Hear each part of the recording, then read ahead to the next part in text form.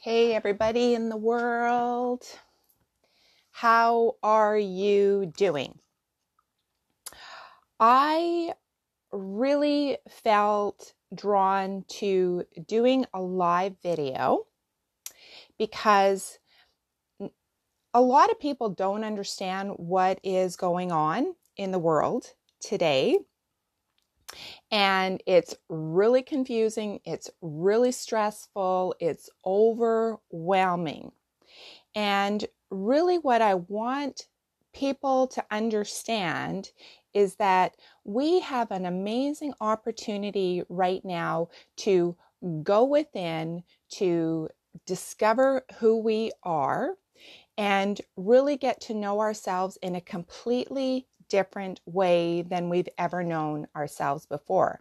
This work to go inside is it's a lot of work, right? And not and not very many people actually want to do the inside work. But when you do go inwards and take the time to get to know yourself, um, you start to awaken to something completely different that never existed before. And a lot of people are starting to wake up and discover who they truly are, but still, we're being swallowed up by everything that's going on in the outside world. And it's causing people to behave in in ways that they normally wouldn't behave. It causes them to do things, to say things, to react in different ways that they normally wouldn't wouldn't behave. But it's all um, a defense mechanism, and because we are we don't have the we haven't found our new comfortable uncomfortable comfortable place if that makes sense to you. Um, everybody's still scattered around trying to figure out, like, uh, like land in a place that feels good for them, instead of being caught up in all of this this fear and despair, which is increasing depression and anxiety and stress and the inability to cope. I'm hearing more and more people just aren't able to cope with the mounting stress and strain. And it's financial stress, it's all kinds of stress. It could be just feeling the weight of the energy that's out there in the world. So I want to help you to not get sucked into the abyss and give you some practical tools um, that will help you unplug from all of the fear and plug back into yourself and plug into things that actually make you feel good and help you raise the vibration. So, because this is live right now, and if you have any questions for me, you can ask me questions. Go ahead and share out this video to anybody that you might think would benefit from hearing these tips from un, um, replugging yourself into something um, high vibing. And uh, go ahead, ask questions, and I'll try and answer the questions as I go along. So, here we go. Tip number one is turn off the media. That is the news, that is any type of social media. Unplug from it. And here's why I say unplug from it. Not because we don't want to know what's going on in the world today, because we can't escape what's going on in the world today. But here's the thing is that everything first well first of all if what you're plugging into in terms of what you're what you're watching in the in the news or what you're watching um, on social media if it's not making you feel good and light and airy and and uplifting and inspiring then it's not doing you a lick of good.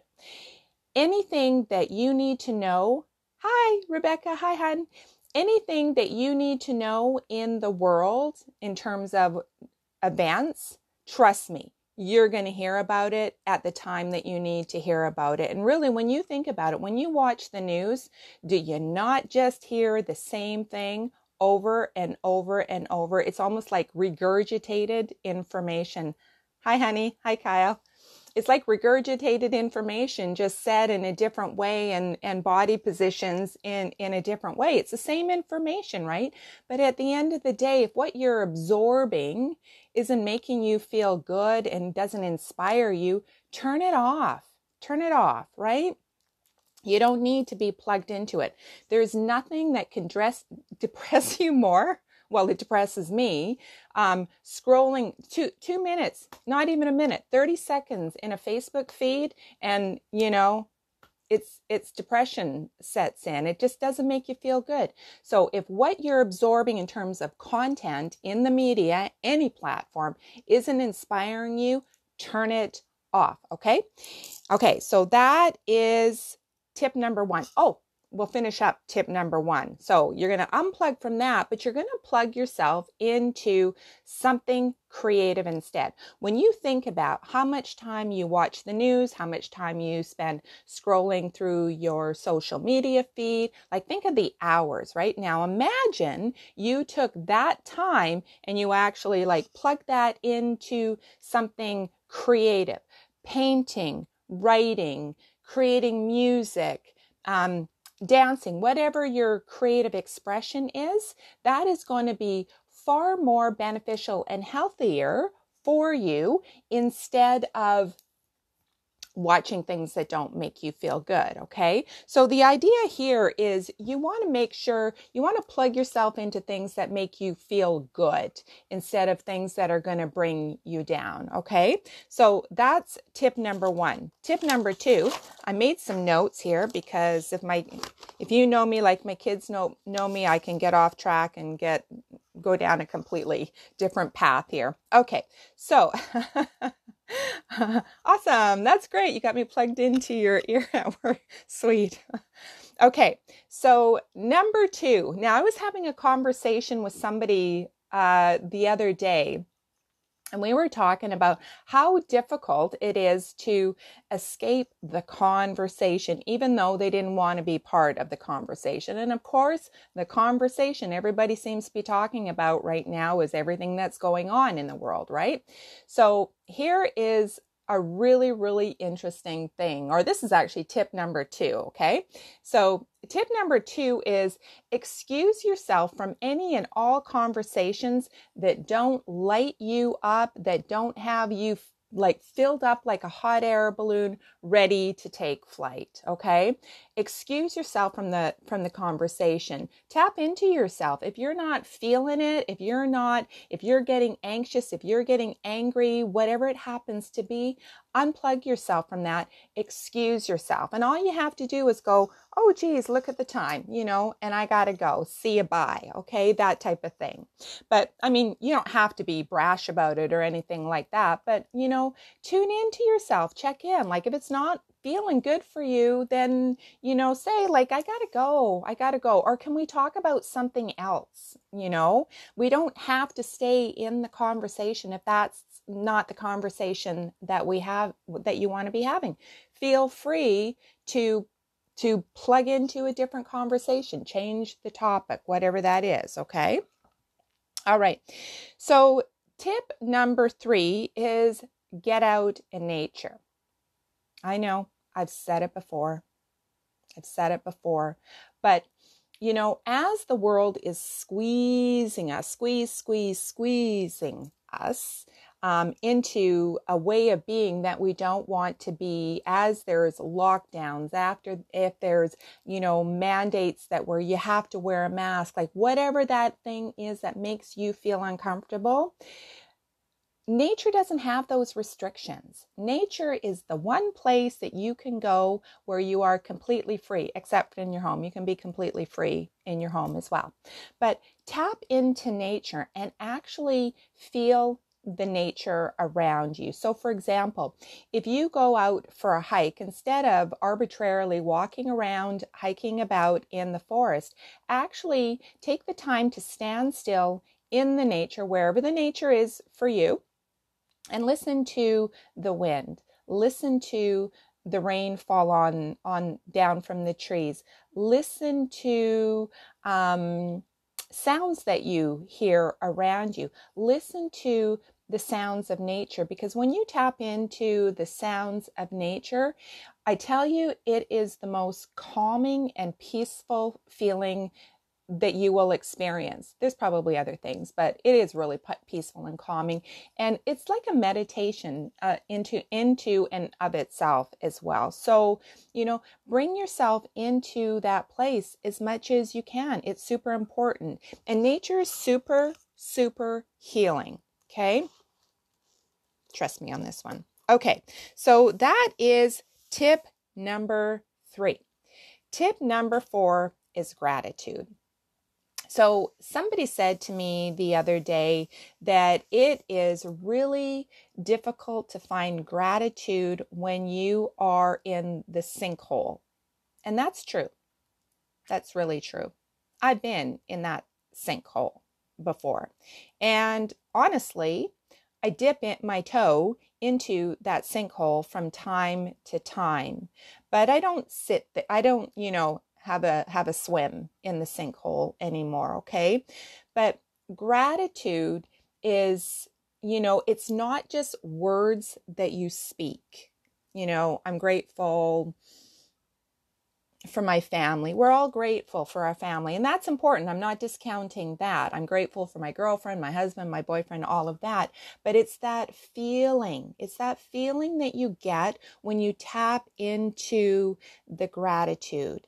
And sometimes when you're in that really, really low state, sometimes all you can figure out to be grateful for is the fact that you can brush your teeth, that you have a toothbrush you can brush your teeth and what that feels like to be able to have clean teeth. But there's all kinds of things, right? The fact that there, the fact that we're breathing, the fact that we're alive. And I know a lot of people feel like they wish that they can check out now. And, you know, more and more people are suffering from mental health. And that's what this video is about to help you step out of all of the things that are causing you to be in that low energy and so gratitude is a really important piece. Be, you know, have gratitude for the fact that you are living. Really, truly feel that. Have gratitude that you do have family around you, that there are people that really love and care about you. Sink yourself into that level of gratitude, okay? And I won't tell you to write a gratitude journal because I mean, you can, but a gratitude journal has never helped me because I really want to feel into every single moment that I'm experiencing that gratitude and do more of it. And you can that's something that you can do anytime, any day, whenever you're you're aware of of how you're feeling, okay? So that's the gratitude piece. And here is tip number 5. Smile and wave at people. I was grocery shopping with one of my daughters, and I had a little mini temper tantrum at the till. And the temper tantrum was about the fact that everybody was so effing grumpy and miserable. And I thought, you know, looking back on that situation right now, I probably could have been handled that more happily, you know, with more grace, with more kindness instead of having a little mini meltdown in my in my own little world about the grumpiness of everybody else.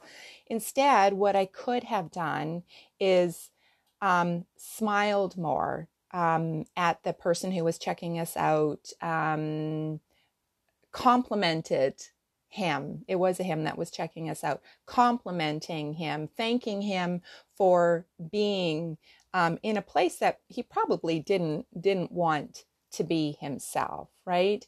And just smile more. And it just got me thinking that you know the world right now needs a whole lot more love. We don't need more negativity. We don't need um, more anger. We don't need to perpetuate um, more fears and you know those those types of things.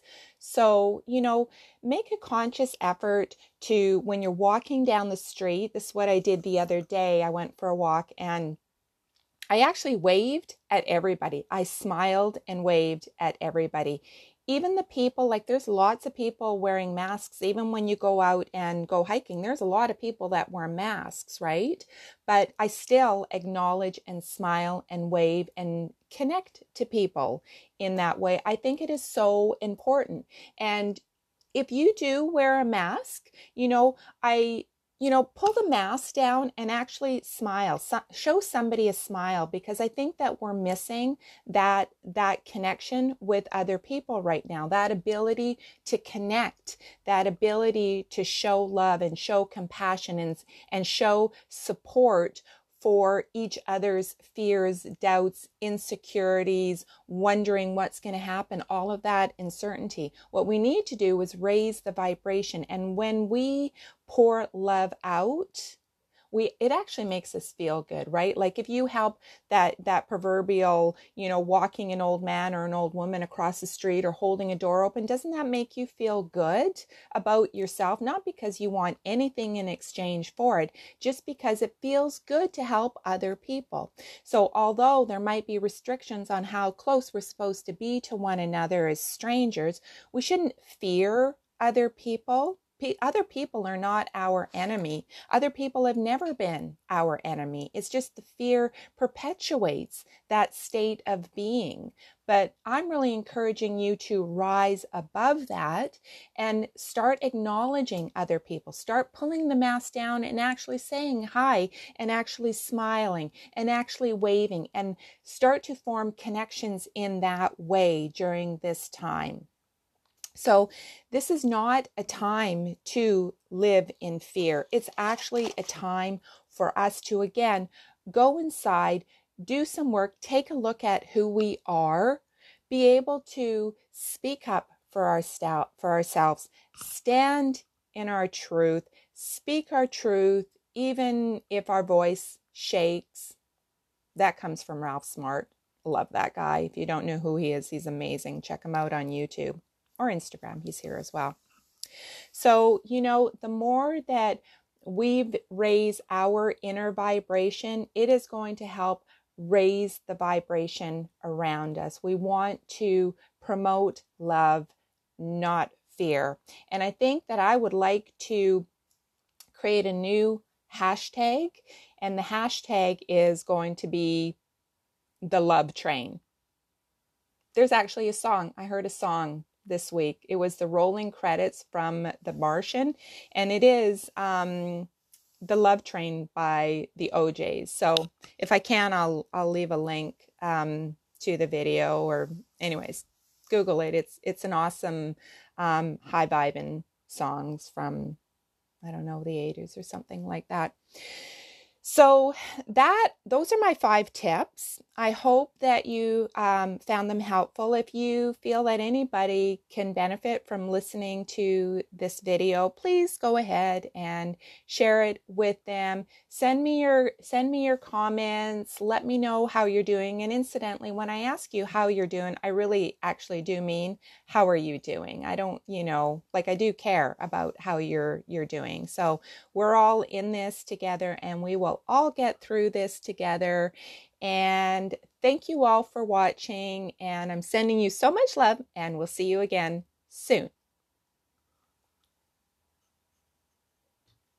How do I end it now? Now to end. End.